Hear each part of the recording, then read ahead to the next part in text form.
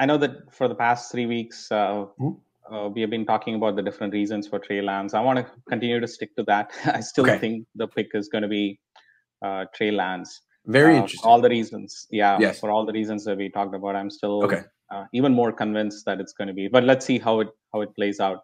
Um, sure. there was a few things that I wanted to sort of again listening to all your conversations during the week. Um, I want to talk about a couple of different things. So the first one is the Mac Jones rumor. So why it is so strong? I know that people have backed off a little bit, but yes, uh, but again, the reality is that it's been consistently strong, and even now yes. the report is saying, "Hey, it's Mac Jones, but maybe if it is not, it's Trey Lance, etc." Mm-hmm. Here is one plausible reason I was thinking.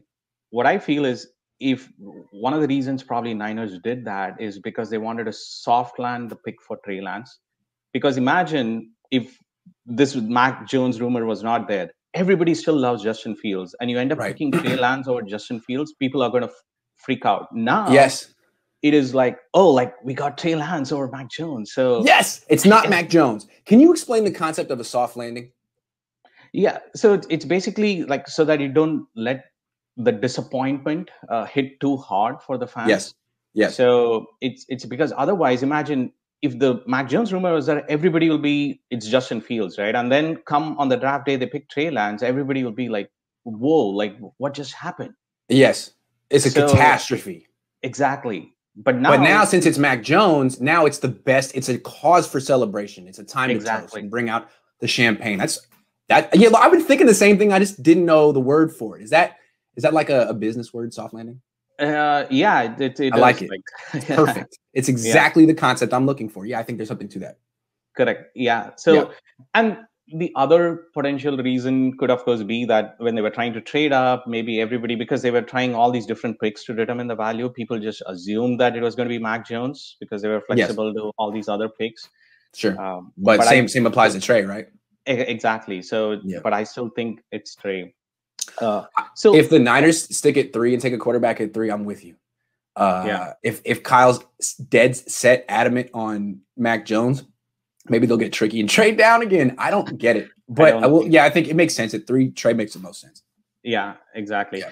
And sort of related to this, one of the things that intrigued me during the, your conversations during the week was like, hey, if I were Salah, I would be nervous, like because Kyle is sitting yeah. right behind me, and what pick he's going to uh, take that kind of made me think that if I were Kyle, I would be nervous about Bill Belichick. Like again, that guy is trying to come right behind me in all likelihood. So mm-hmm. imagine Kyle goes and picks Mac Jones or Trey Lance, and then Bill Belichick comes and picks picks Justin Fields, like trades up and comes and picks. If I were Kyle, I would be nervous about that too. So it's not just terrifying. That, yeah, exactly. and it almost feels like like a uh, like like a slap in the face. Like you move there because you think I'm going to mess up, don't you? Correct. You think I'm weak. You think I'm weak. Like wow, Correct. interesting. Okay, all right. Correct. Okay. Yeah, so I think yeah. that's another thing just to um, yeah keep keep a keep a watch for. Yeah. yeah. The other thing that I want to talk about, I know that you talked about, hey, why did they sign Nate Sudfeld? And this is like, if they're really going to pick up this athletic quarterback, why the rest of the quarterback room is Josh Rosen, Nate Sudfeld, and the likes uh, of those. Again, the reason I feel for that is they still want a pocket quarterback, even if they pick, uh, let us say, a Trey Lance. Mm. They got to train him to be a pocket quarterback ah. because that's that's what they want. I, I mean, that's what they want. Yeah. Ultimately, I feel that Trey Lance he'll be used on special packages in red zone uh, mm-hmm. if it was pure running. And of course, sometimes like when the defense blitz and there's no way, rather than be a sitting duck in the pocket and get sprain your ankle, you can escape. But other than that, I don't think they're going to have put in this running too much of running the way Lamar Jackson does it. So that's yeah. why they I feel that they really need that uh, strong pocket quarterback. Yeah. Also, Nate Sudfeld was he was an understudy for Carson Wentz for a long time, so it would be kind of an easy transition to go to the next North Dakota State guy. Exactly. great call. Yeah, ab- absolutely. And then the last one, uh, Grant, is again Jimmy G, right? What are we going to? Mm-hmm. This is something that I've been going back and forth in terms of are mm-hmm. they going to keep Jimmy G? Or are they going to trade him? What I feel right now is the biggest value of Jimmy G more than trading him. Probably they won't get much back. I know that they're saying first round. Is really that competition that he brings because any new QB that you bring in, you don't want you want that guy to compete and win the job. I agree with that. that. Yeah, Jimmy never competed.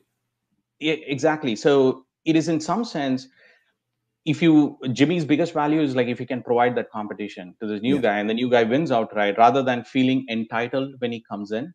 Uh, so I feel they are not only that. I, I feel like also for the locker room. So the so it's legit. It's like hey, we didn't just uh, railroad Jimmy and artificially uh, insert his replacement. Like it, it played out right in front of you guys. You guys were part of it. You ran the routes. You blocked. You saw it. He won. We're going with it. Yeah. You know, as a team, I'm with you on that. Ex- exactly. Yeah. Awesome. Just last one. If they do end up pick, uh, picking Mac Jones, uh, I think you should coin that Mac freaking Jones. You should move from CJ freaking Beathard to Mac exactly. Jones. Mac yeah. Jones, yeah. So. If they take Mac Jones at number three, my immediate uh, grade blog will just be Mac freaking Jones. Grade F minus. F minus. Exactly.